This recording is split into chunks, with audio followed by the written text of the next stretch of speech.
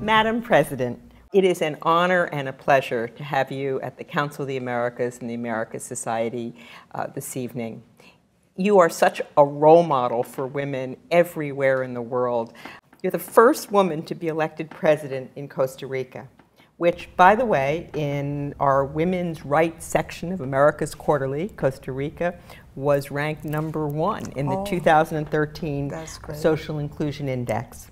What do you see as the most important challenge for Central American women to arrive and, and become leaders of industry, of business, and political leaders? I would say that in general terms, because of course uh, each country, each nation uh, has its own challenges. But in general terms, I would say that when you analyze Central America and Latin America in general terms, uh, you find a lot of progress uh, in terms of political participation of women. We have increased the participation in Congress. For example, in Costa Rica, we have reached almost 50% of participation. Wow. The same is uh, about the same is in uh, Argentina and in many other countries in Latin America. You find also many women in the judicial branch. Uh, you already find many women uh, who have been president of their own nations.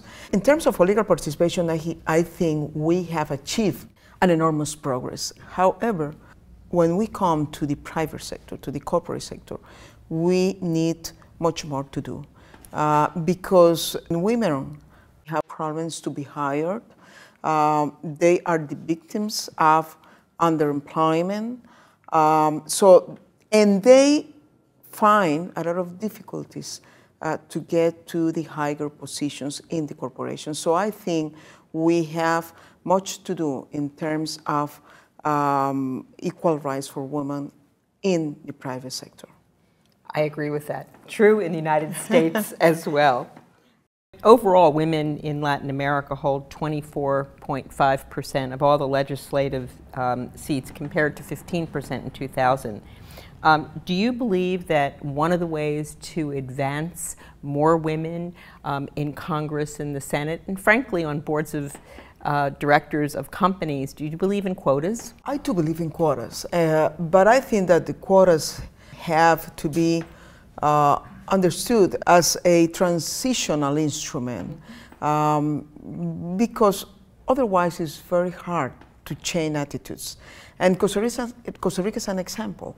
Uh, we legislated for quotas uh, concerning the political participation, and after that, we really changed the patterns of political participation.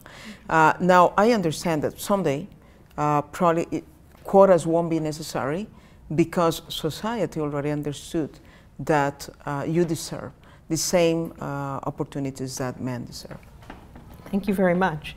Um, this year, uh, the Global Innovation Index named Costa Rica as Latin America's leading country, uh, the most innovative country. It jumped 20 spots. So could you tell us a little bit about what you did to get there? well, um, I would say that it, it, doesn't happen from one day to another. Costa Rica uh, has been a long-term leader uh, on issues like uh, human development, education, and that has to do with innovation. If you do not have an educated population, uh, you cannot aspire to be an innovative society. Uh, we have a very sound uh, educational system. it has been scored also as the number one in Latin America by the World Economic Forum and also uh, through the PISA tests that we are applying as a country.